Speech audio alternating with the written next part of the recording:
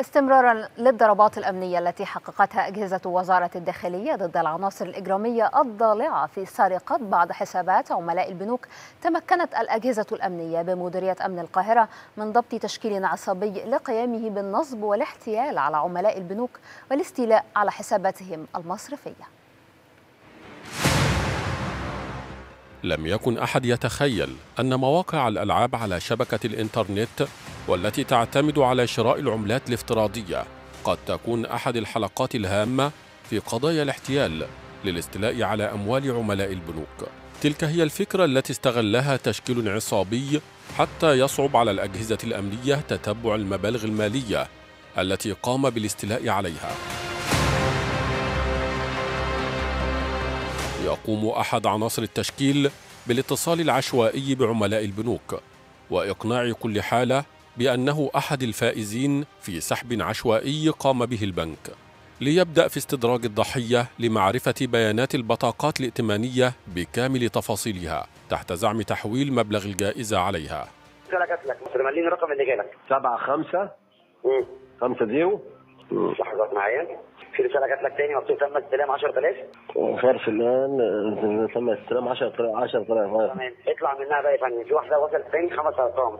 يحدث الأمر بصورة سريعة لإرباك الضحية وعدم إعطائه الفرصة في التفكير مستغلا انشغاله بفرحة الفوز آه يا فندم في رسالة جت تمام كام الرقم؟ الرقم اللي بيجي عليه الرسائل كام عند حضرتك؟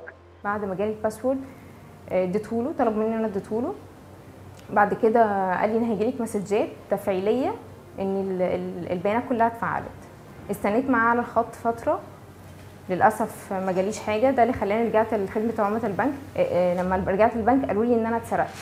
وبمجرد الحصول على البيانات يبدأ في سحب الأرصدة من البطاقات الائتمانية واستخدامها في عمليات شراء عملات رقمية من مواقع الألعاب الشهيرة توضع في حساباتهم على مواقع الألعاب ويتم طرحها للبيع بعد ذلك بأموال فعلية على مستخدمي هذه المواقع على طريقة غسل الأموال. بعد ذلك يتم سحب الأموال من ماكينات الصراف الآلي. المتهم الأساسي بيبدأ ياخد الأرصدة المستولى عليها من المواطنين بيخش على مواقع الجيمنج المنتشرة على صفحات الإنترنت ويبدأ يعمل عمليات شراء من الفيزا بتاعة المجني عليه بالرصيد اللي موجود كله سواء عنده مثلا 1000 أو 2000 لحد 150 أو 200 ألف جنيه. وبعد كده بياخد الفلوس من مشترين النقاط دي يحولها على خدمة الفون كاش وبيتم صرفها من ماكينات الصراف الآلي. برغم تعقيدات تلك القضية والتحويلات التي يقوم بها عناصر التشكيل لصعوبة تتبعهم إلا أن الأجهزة الأمنية وما لديها من تقنيات حديثة واحترافية كبيرة في التعامل مع الجرائم المستحدثة كانت لهم بالمرصاد حيث نجحت الأجهزة الأمنية بمديرية أمن القاهرة في ضبط عناصر التشكيل الخمسة بعد تتبع الاتصالات وحركة الأرصدة باستخدام التقنيات الحديثة.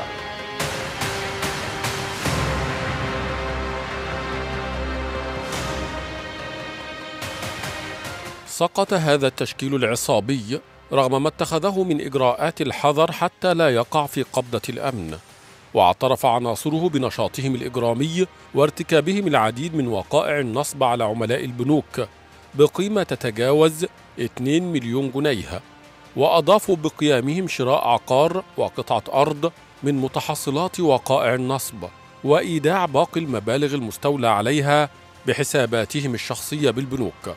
تم التحفظ عليهم جميعا. بيكلم أرقام عشوائية وكان بيقول لهم إن أنتوا كسبتوا فلوس والناس عادي كان بتديله آخر أربع أرقام من الفيزا. ويقول لهم أنا موظف في بنك ويدي- ويقول لهم ادوني مبروك كسبتوا معانا نقط وادوني آخر أربع أرقام في الفيزا بتاعتكم. مجهود كبير تبذله أجهزة وزارة الداخلية لضبط التشكيلات العصابية التي تحتال لسرقة حسابات عملاء البنوك. ترجم واقعيا إلى سقوط عناصر تلك التشكيلات سريعا في قبضتها رغم صعوبة هذا النوع من القضايا وتنوع أساليب الاحتيال ويبقى على عملاء البنوك الحذر وعدم مشاركة حساباتهم مع أحد.